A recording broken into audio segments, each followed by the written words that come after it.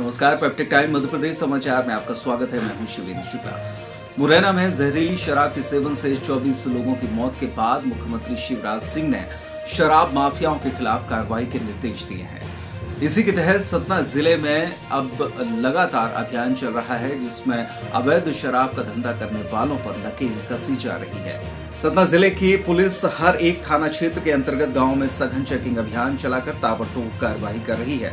इसी क्रम में पुलिस अधीक्षक धर्मवीर यादव के निर्देश पर अतिरिक्त पुलिस अधीक्षक सुरेंद्र जैन, एसडीओपी नागौद, रविशंकर पांडे और थाना प्रभारी उचेहरा के के शर्मा के मार्गदर्शन में चौकी प्रभारी परसमनिया उप निरीक्षक मुकेश डोंगरे ने स्टाफ के साथ मिलकर ग्राम कुम्ही, बसहा, गढ़ौत और रामपुर पाठा में घर घर जाकर दबिश देकर 19 लीटर कच्ची शराब जब्त की है। इस दौरान पुलिस ने अन्य घरों में महुआ लहान निकलवाकर मौके पर ही नष्ट करवाया।